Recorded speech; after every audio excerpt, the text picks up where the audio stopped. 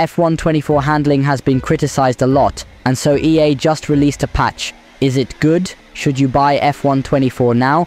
We will see it all in this video, but first, please leave a like and subscribe to the channel to support these videos. For this test, I tried racing in three different tracks, Jeddah, Singapore and Qatar. In Jeddah, I immediately found a huge difference.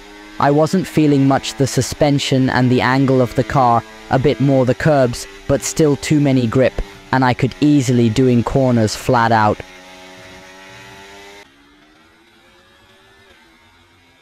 Singapore was wet, and so we could really test the grip of the car. It is still a lot, and you can easily control the car even on wet, but when you really exceed the car, will lose control in a fraction of a second, and that's pretty unpredictable.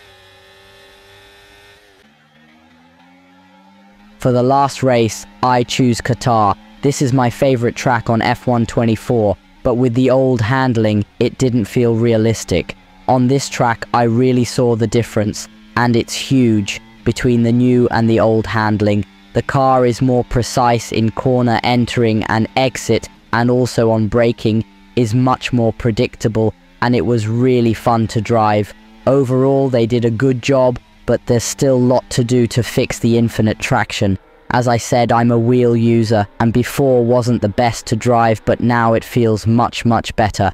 But the final question is, should you buy it now or not? Personally, I think EA is moving on the right way to fix the handling, but I would wait for some discounts. Now the game feels good to drive and more realistic and I'm optimistic about this game. For this video was all guys, thanks so much for watching guys, and as always, it's been a pleasure. Cheers.